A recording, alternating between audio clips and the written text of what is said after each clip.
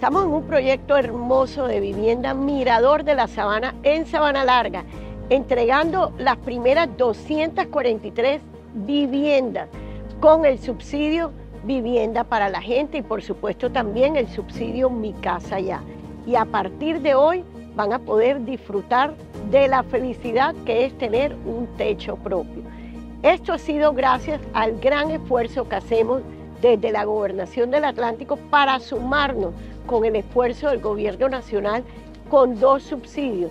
Cerca de 38 millones de pesos se le están entregando a los beneficiarios para que la cuota del banco les quede mucho más bajita y sea mucho más fácil que les otorguen el crédito.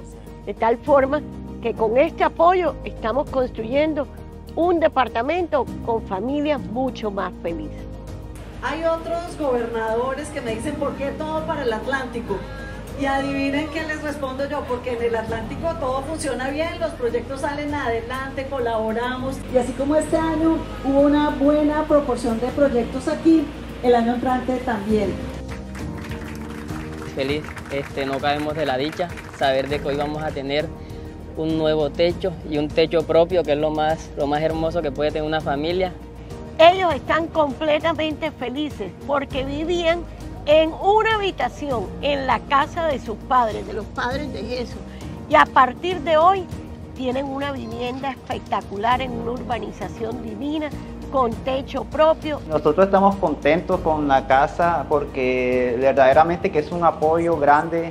Eh, las cuotas son muy cómodas, con los subsidios nos sale muy económico como si estuviéramos pagando un arriendo.